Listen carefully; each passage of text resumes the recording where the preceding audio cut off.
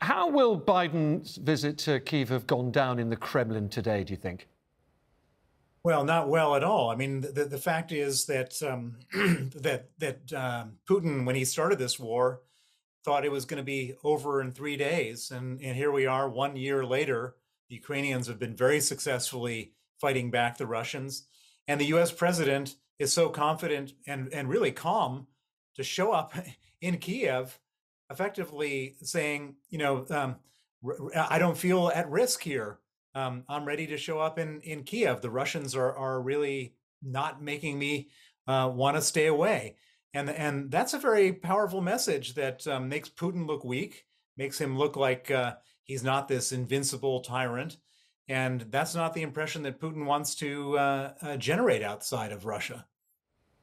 It, it really isn't, is it? Uh, let's look ahead, shall we? Because a year ago was meant to be Russian troops parading through Kiev. This war was meant to be over in a week. How damaged do you think Putin is uh, by his battlefield failures? Incredibly damaged. I mean, he's lost um, more than 100,000 troops.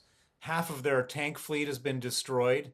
Um, he he looks like a loser, and and moreover, um, you know, this is Russia was supposed to be the second most powerful military force in the world.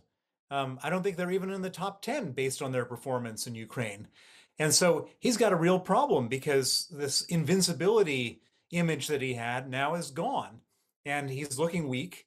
And he and he, the one thing that's worse than anything for a dictator, a Russian dictator, is to look weak. And so he's got a real problem, real perception problem that he's got to fix um, if he wants to stay in power. Okay, so I guess the obvious question is, what will Putin say tomorrow? What's your best instinct? You know him well. Well, I think what he's going to say tomorrow is something to the effect of we're not just fighting the Ukrainians anymore, we're fighting the Americans, we're fighting NATO. Because if if he if he just blames his failures on fighting a what how what he would have described as a second tier fighting force, then he must be a third tier fighting force. And so he's got to elevate the enemy. He's got to say that the enemy is really the Western world. It's America, it's NATO, it's UK, etc. And that way um, it justifies all the failures, deaths, and and uh, all the terrible things that have been happening. And so I would suspect that that he's going to have a lot. Of, there's going to be a lot of bravado. There's going to be a lot of fake uh, news and and mis misinformation in his speech. And moreover, he's going to characterize this as a fight. Russia is being effectively invaded by by these um, very very powerful Western forces, and he's a patriot um, looking after the interests of the Russians. Something to that effect. Bill, let's have a quick look at a map, shall we, which is where the war is. Now, uh, this is where Vladimir Putin claims Russian territory is. This is what Vladimir Putin says Russia already owns. But have a look at the front line. Now, that's quite clearly not all Russian territory. Even by the most politest accounts in Moscow, the war can't be going particularly well for him. And it was, after all, Bill, those fatalities in Afghanistan that brought an end to the Soviet occupation of Afghanistan in the 80s and, and did quite a lot to bring down the Soviet regime. Russian fatalities are over 100,000 now, potentially, if we've got any decent count to go by. What effect is that having on the Russian people's view of Vladimir Putin and indeed the security of his own regime?